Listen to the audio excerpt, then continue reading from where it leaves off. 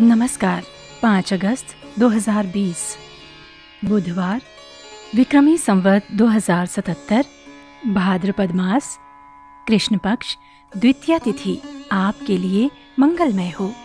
श्रवणम कीर्तनम ध्यानम हरेर कर्मण।